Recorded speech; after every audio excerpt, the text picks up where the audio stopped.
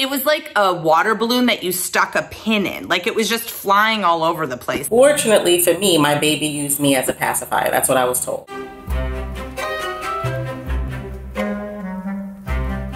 Hi, my name is Allison, and I started lactating before I had a baby. Hi, I'm Krista, and I had a pretty traumatic experience because more than just milk was coming out of my boobs. Hi everyone, I'm Tamiko, and I had to dye my baby's mouth purple.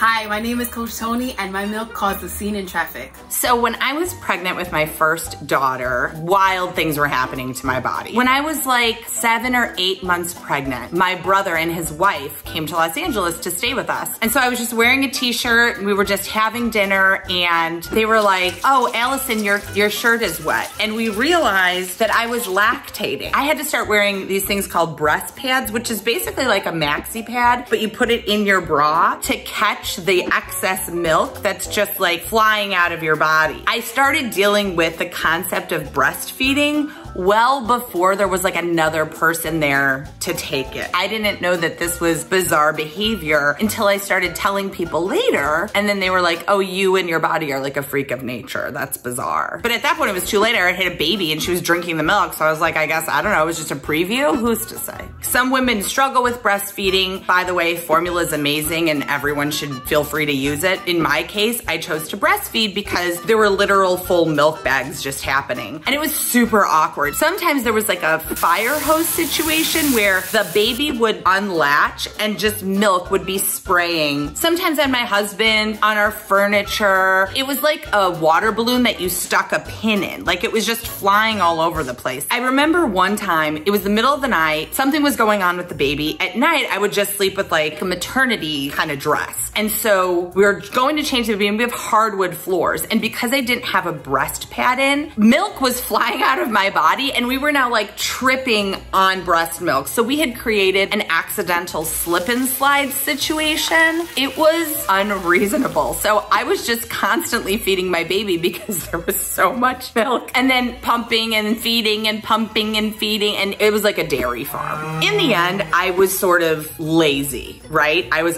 already lactating. I certainly didn't want to spend any more money because children, while small, tend to be wildly expensive for some reason. They just like need a lot of stuff. I ended up breastfeeding. It's such a personal choice. I think whatever everybody does is the right thing for them and that's cool. I actually had a decent experience to begin with when it came to breastfeeding. Everything was going fine for the first three months. I was pretty young when I had my son, so I was going to college and working. So I wasn't able to have him latch directly onto my boob all the time. Like obviously when I was home, he would latch on, but a lot of times I was carrying my pump around, pumping in the bathroom at college, pumping in the break room at work, pumping pumping, pumping, all the time. I don't know if it was from me pumping so much, but it, it started becoming really painful. And my mom's a nurse, so I asked her and she's like, you are stressing yourself out. Just, you know, pump what you can. Don't feel like you over have to pump and then supplement your son with formula to help meet his nutritional needs. So I kind of took a break, but after that, like I would say over the course of the next two weeks, anytime my son would latch or I would put the pump onto my boob, it was just like awfully painful. But I thought that I had to breastfeed to be a good mom. So I was like, like, I got this, I can do it. Slowly over the course of the next few weeks, it got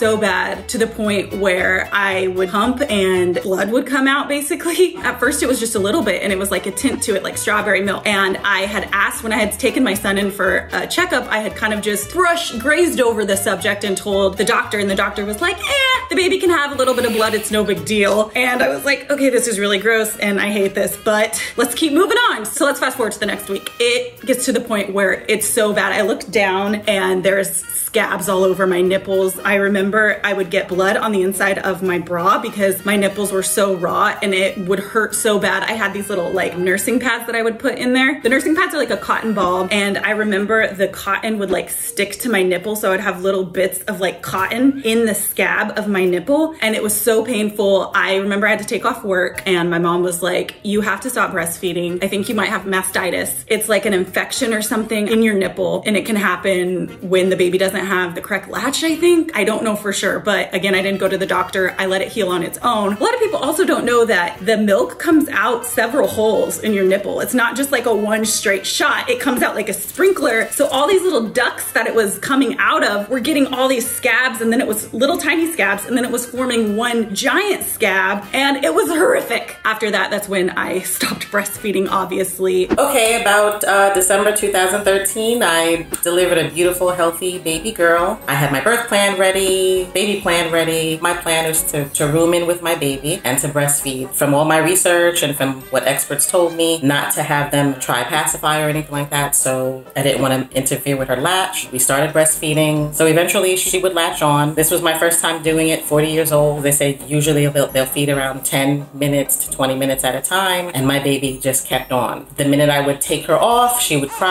So they told me to put her back on. I would have these four hour feeding sessions. Eventually, I'm home with my baby. As in the hospital, she continued to feed four hours at a time. I was completely sleep deprived. My husband felt helpless because there was nothing that he could do. Unfortunately for me, my baby used me as a pacifier. That's what I was told. Fast forward, this goes on for a month or so. My breasts are still sore. I'm still having problems with one particular breast because she's not latching on as well as the other. I go to my midwife. She sends me to the lactation specialist and they determine, although I didn't fit all the symptoms, that I had a yeast infection in my breast and prescribed this medication called diflucan for me and gentian violet for her. First, we have to call all over the place uh, to find a compounding pharmacy to make this special medication that's not found in, in most pharmacies. So we pick up the prescription, administer it to my baby, and purple, purple lips, purple mouth. I mean, she she was stained. She had purple all over her mouth. I was horrified. the doctor did warn me that uh, the medication was going to turn the baby's mouth purple, but nothing could have prepared me for that. As time went on, they determined that I actually didn't have a yeast infection after all. So I went through all of this, dyeing my baby's mouth purple, and then the side effects that I experienced from diflucan, I literally started itching. I had an allergic reaction combined with hormonal itching to, to the medication. For every pill that I took, I got got a week's worth of side effects. So I was on this for about seven days. So I itched literally from head to toe for about seven weeks. My husband thought I was gonna go crazy. The only thing that would soothe me for the moment were cool showers. So I was constantly taking showers just to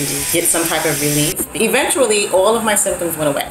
And luckily, I never had to dye my baby's mouth purple ever again. Um, but in hindsight, if I had to do it all over again, I'd do it in a heartbeat because it's what's best for her. When I gave birth to my daughter, I knew that I wanted to breastfeed. That was non-negotiable. And everybody had painted it as this like wonderful time that nothing could go wrong. And I quickly realized that wasn't the case. So nipple confusion is when a baby's used to a certain nipple at birth and when they're introduced to too many nipples, then they get confused and they don't associate it with food and they may reject the feeding. I didn't listen and I decided, okay, I'm going to express milk through the breast pump that was given through me by my insurance. And then once I do that, I'll bottle feed her so that my nipples can heal. And so it just meant that I had to pump. But what was happening was only one of my nipples was sore. So I said, I'm gonna breastfeed on the other side. And when I did that, it just made my letdown come so quickly. So like when you breastfeed, you actually at a certain point feel the milk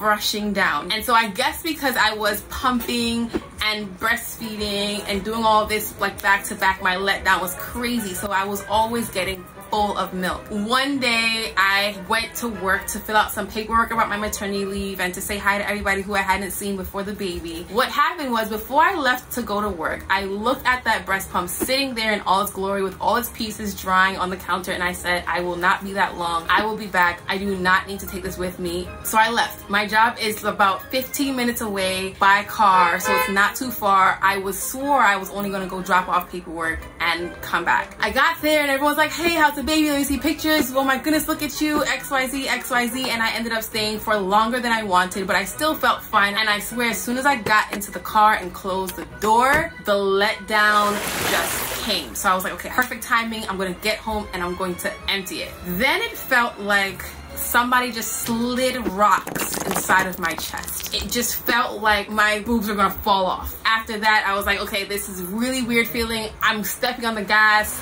legally of course. And then it got so painful to the point where I couldn't move my hand with the steering wheel. Like I was in so much pain. It felt like the milk was just gonna come shooting out of me. And where I was on that road, I pulled over and I opened my car door and I pulled my shirt down and I started to express my own milk on the side of the road.